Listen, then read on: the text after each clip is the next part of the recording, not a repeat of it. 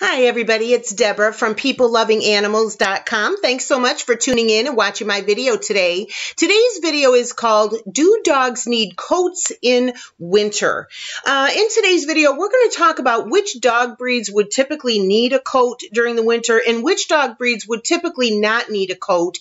I'm going to give you access to a printable list of those breeds uh, that you can print out and use as a reference for yourself for your own dog. But I'm also going to talk about several reasons reasons why your dog might need a coat and you're going to be probably surprised at some of those reasons. So you can make a general decision based on the breed of your dog, but there's other factors involved where uh, that you really need to consider when you're trying to determine whether your dog should have a coat on when you take them outside in the wintertime. I'm also going to talk about several ways that you can tell if your dog is cold, and then we're going to talk about what kind of coat should you get for your dog if you determine that your dog should have a coat in the winter. So again, thanks so much for watching let's go ahead and get into the video. Now, if you've been here before, you know that uh, I own a website called PeopleLovingAnimals.com, and we're on the website right now. We're going to be using this article on the website called Do Dogs Need Coats in Winter? Uh, kind of just as our guide for our video today. I'm going to give you a link to this article in the description box, and anything that we talk about uh, during this video that you might want to see or get more information from, I'm going to give you the links to everything in the description box, okay? Okay, so you'll be able to go in here, and if you decide you'd like to go in and read this article, you can. All right. So, uh, do dogs need coats in winter? Um, first of all, if it's so cold outside that you feel like you need to bundle yourself up, then you need to decide whether your dog also needs uh, protection from the cold. Um, we're going to discuss again which breeds would need a coat, which breeds would typically not a, need a coat, and we're going to talk about reasons why your dog might need to wear a coat, how to know if he's too cold, and what kind of coat to get. Now, as I promised in this article and also in the description box, I'm going to give you this link to go ahead and get a printable list of breeds that need coats and breeds that don't need coats. But again, I, I need you to stick with me because there's a few other factors that you may need to consider.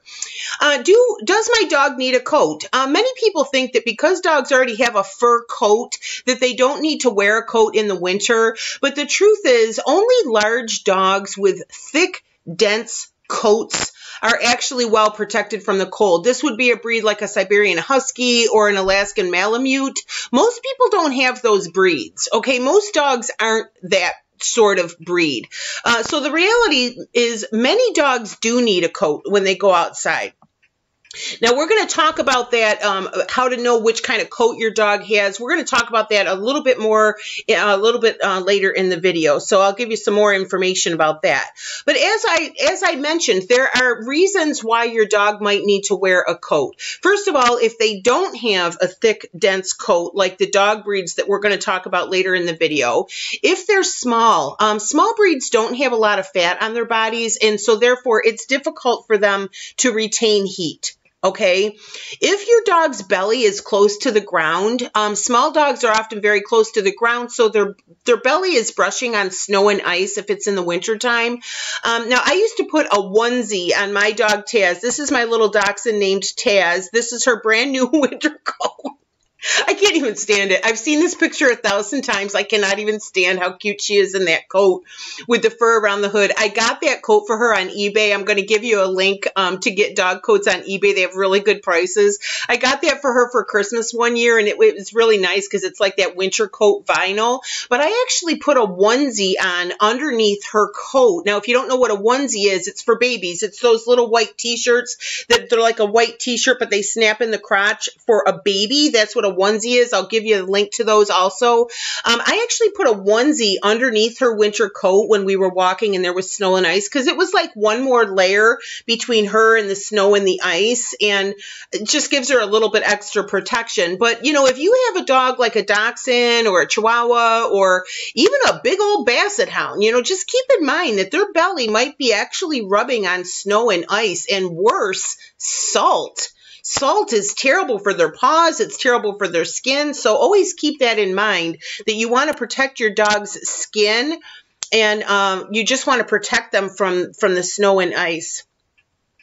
Um, if they get their hair cut, uh, dogs who are groomed, say like a poodle, uh, they may lose some protection of their fur in the winter time uh, when they go to get their hair cut. Um, when I was little, we had a dog named Peppy, and he was really cute. And when his hair was grown out, he was all full of curls. And now he's still a breed that would need a coat. He doesn't have that double layer super warm coat, but still, you know, when his hair was longer, he at least had some fur and some curls. But then he would come home from the groomer and he was shaved down to a buzz cut. So poof, there goes his protection against the winter. So, you know, if you have a dog that gets groomed, keep in mind when they're get, you know, when they have a fresh haircut, they don't have as much fur on them to help keep them warm. If the dog is old, now regardless of the breed, I don't care if you have a husky, I don't I don't care what kind of breed you have, elderly dogs may have conditions that would require them to wear a coat, such as a weakened immune system because of some sort of illness or just because they are elderly, or arthritis. You know, Cold hurts, cold makes arthritis hurt more. It aggravates arthritis. And so if you have an elderly dog, chances are he's got some arthritis in his joints, maybe in his back, maybe in its hip. And being out in the cold is going to make that arthritis that much more uncomfortable. So if you have an elderly dog, you it would definitely help to have a coat on them. Also, as dogs get older, their ability to regulate their body heat declines, uh, making even dogs with thick coats uncomfortable in the winter. So if you have a senior dog, consider whether you should put a coat on the dog when you take them outside. Skinny dogs, just like skinny people, they don't have any fat on their body to keep them warm, okay? Um, so keep that in mind if your dog's on the skinnier side. If they're not accustomed to cold climates, I recently ran into a lady uh, right here in my neighborhood who was walking this little, I would say it was a Chihuahua, but I think it was a mix because it didn't look like a purebred Chihuahua, but that sort of a dog, very skinny, very, very little dog with short hair. And she had this dog all bundled up, the dog in a scarf, she had all this stuff. And I thought that was adorable. So I commented, I'm like, oh my God, the dog looks adorable. And she said, she said, we just moved here from Arizona. I I live in Western New York near Buffalo. All right. At the time of this video, it's January in Western New York. It is cold outside. That poor little dog. And she said, we just moved here from Arizona. And I said, oh, I said, this dog is so blessed that you're being so thoughtful to bundle. And she said, he's doing pretty good. But I said, you know, just be careful. Don't have him outside too long. But she had this little dog all bundled up. And again, she was considering the fact this dog is not used to cold temperatures. So, you know, Keep that in mind.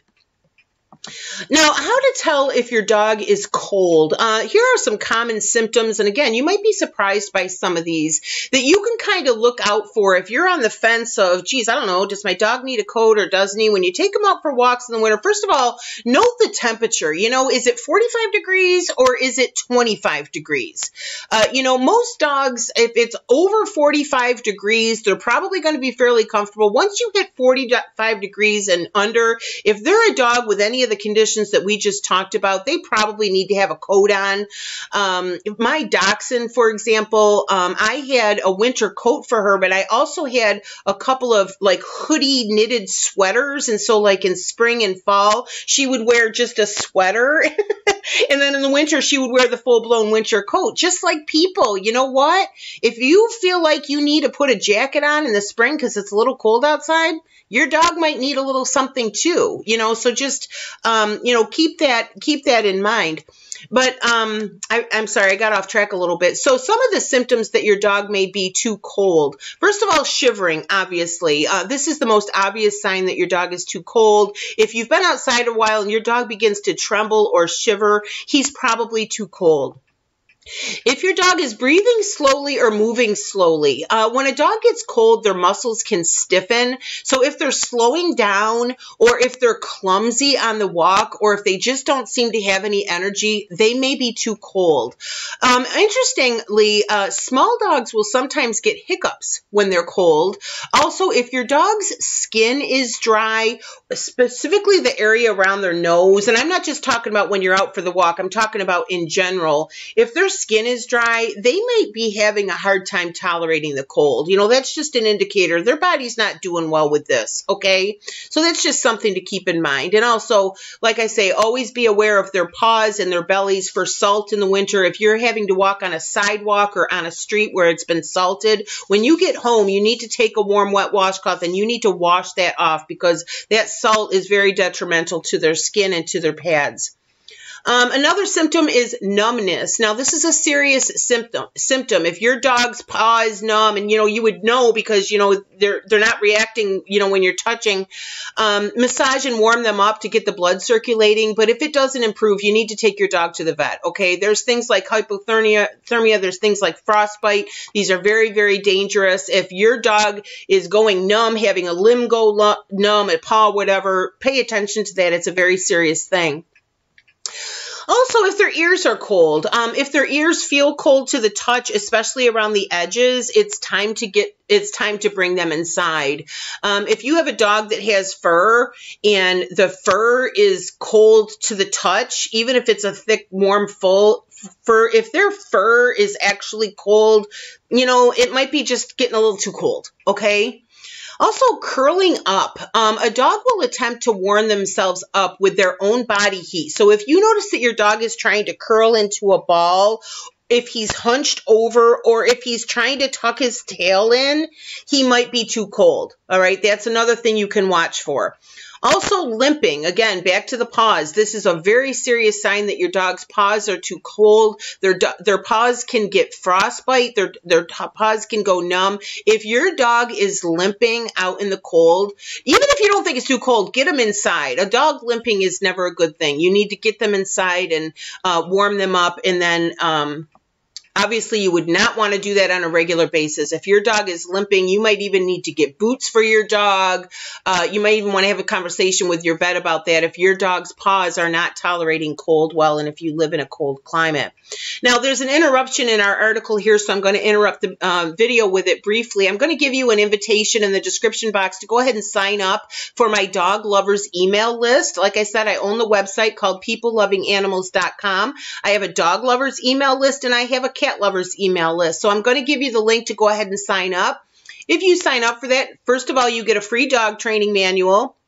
That just comes automatically when you sign up. And then about every five or seven days, you will get an email from peoplelovinganimals.com and it'll be all about dogs. It'll be blog posts and articles and videos all about the training and care and health and love and um, just enjoyment of dogs. So I think you would very much enjoy uh, being on that list, and you can cancel at any time. You can unsubscribe at any time if you don't like it.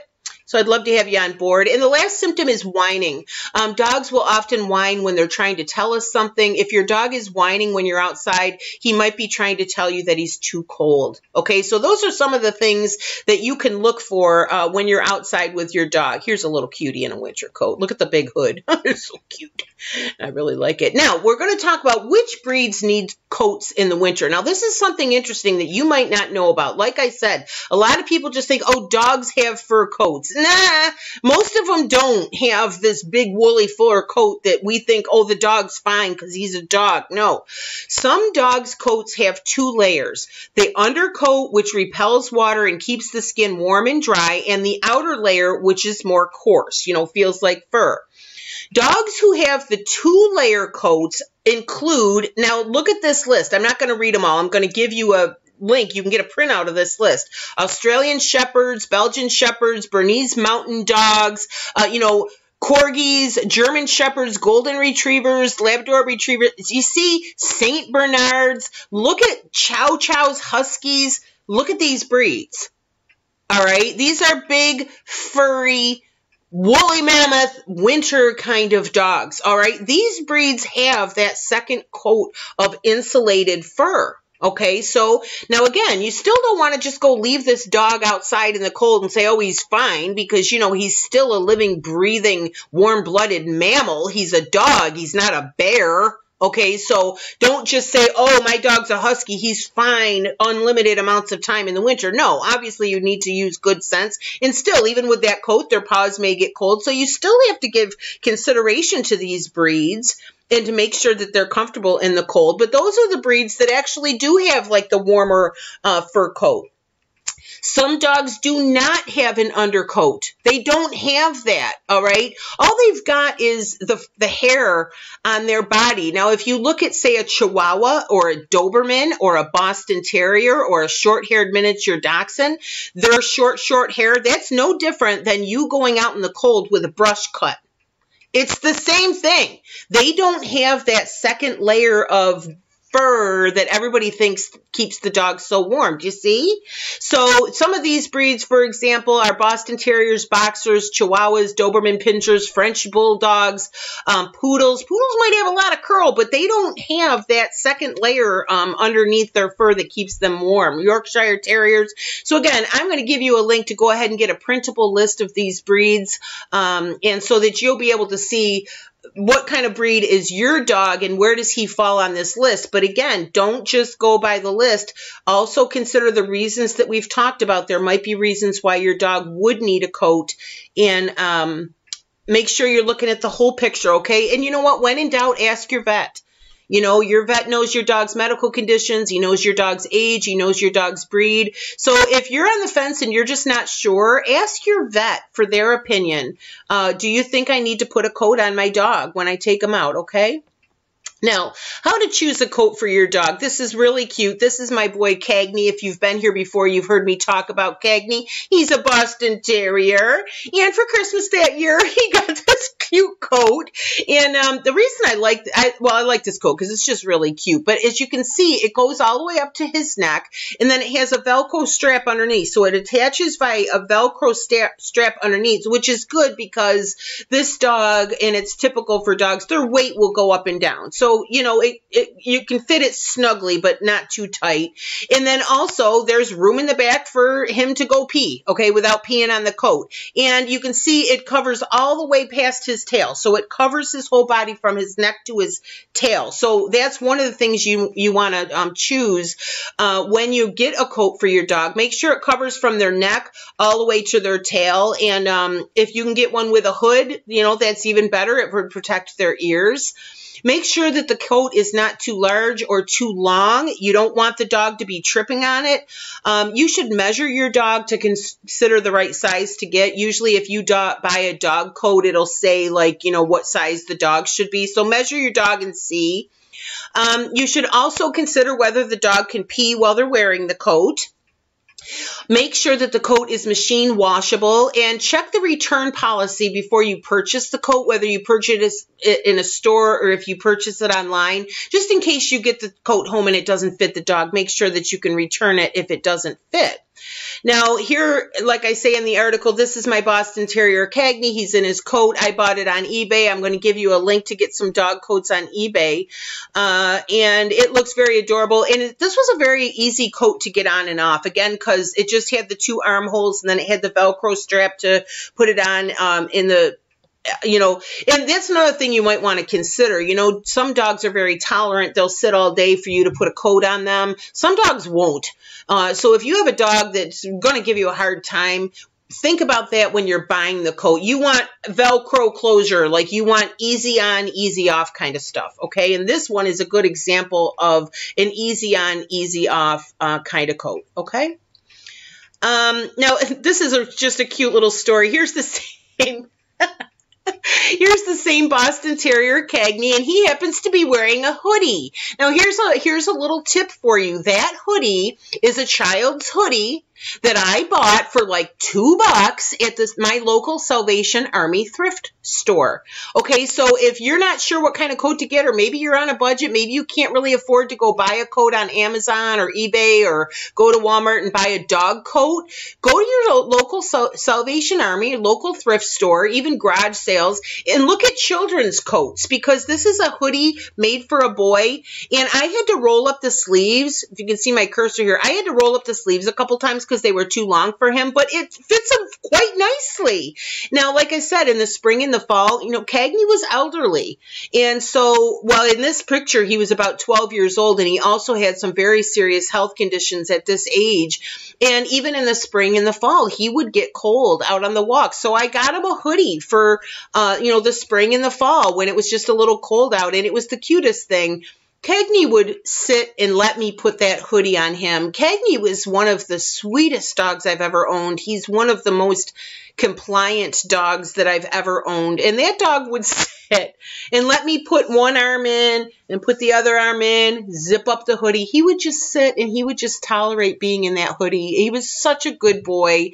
And uh, you can imagine some of the really cute comments that we got uh, when I would take him out and he would have the hoodie on. And people would be like, oh my God, swear. I'm like, well, it's a little chilly out. He needed a sweater, you know? So I'm just giving you that as a tip um, to save money. If you can go to the thrift store or garage sale or hand-me-downs from your friend who has kids, you know, you may be able to find a nice little child's coat that would fit your dog. Now, the one thing you do need to consider if it's a child coat and not a dog coat is the pee factor. You got to see if that coat fits in such a way that the dog's going to be able to pee without peeing all over the coat.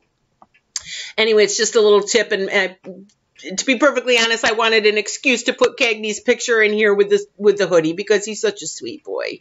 Look at how cute he is. He's adorable.